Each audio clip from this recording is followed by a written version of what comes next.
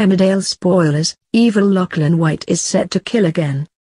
Evil Lachlan White is about to line up his next victim in Emmerdale as he seems convinced that he has found out who is sending him threatening texts.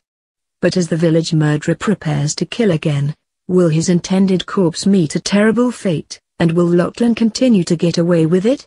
Following his murder of Gerry Roberts and the deliberate car crash that wiped out Chrissie and Lawrence and left Rebecca with a brain injury, Lachlan has proved that he is prepared to go to any lengths to keep his crimes a secret and to maintain his life with Belle Dingle.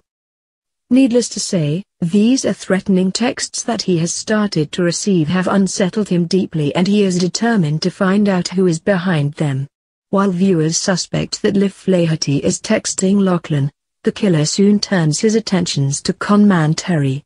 When Doug Potts tells Lachlan that Terry is known for taking advantage of mourners at funerals, Lachlan heads off to find him as Terry knows his darker secrets and confronted him over them previously. Spotting him, he waits for him to break away from the congregation and then approaches him with the intent of killing him. But will Lachlan be disturbed or is this his fourth confirmed victim?